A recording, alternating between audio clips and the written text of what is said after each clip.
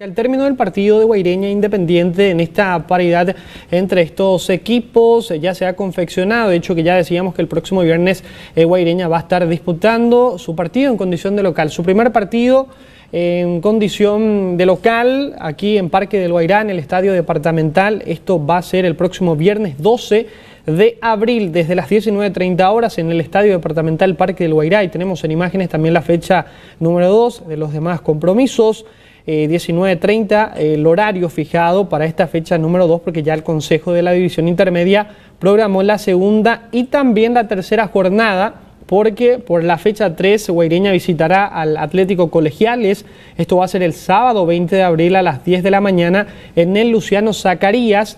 Eh, a tener en cuenta también que Guaireña vuelve hoy a los entrenamientos desde las 17, 17 horas en el Centro de Alto Rendimiento Don Carlos Cáceres, el partido entonces, por la fecha 2, el próximo viernes 12 de abril, 19.30, Parque del Guairá, mientras que por la fecha 3 visitará Atlético Colegiales el sábado 20 de abril a las 10 de la mañana.